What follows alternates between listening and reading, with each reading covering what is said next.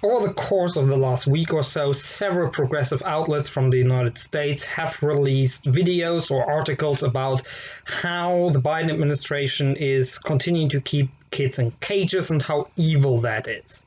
While I in general agree that children should not be kept in detention facilities for a misdemeanor like crossing the border illegally, what most of these pieces um, sadly don't really address is the problem of these being unaccompanied minors, not kids taken away from the families as it was the case with the Trump administration. And when these are unaccompanied minors who don't have family, the state is actually kind of obligated to take care of them. And that means also to house them. They can't just let them roam around freely. Now, of course, this leads to some problems like where to house them. I'm not American, so I don't know how good the childcare facilities in the United States are. According to some Americans with whom I conversed on the interwebs, uh, they're not that good either. So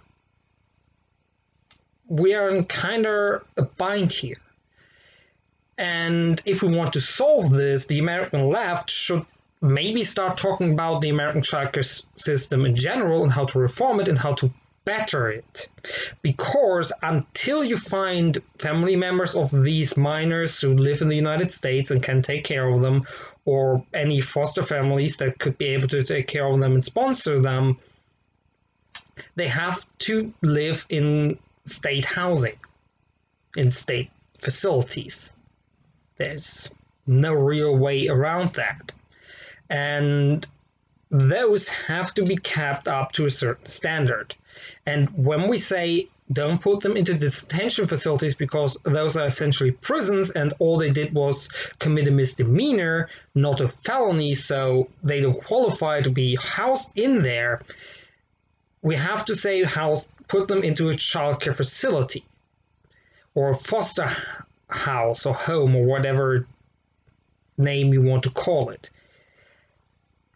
But then those have to also live up to a certain standard and not just for unaccompanied minors who came into the country, but also kids from American parents who lost them and ended up in those facilities. That might be actually something which you can also get people on board who don't really are pro migration or pro migrants. Just my two cents from the other side of the pond on this issue.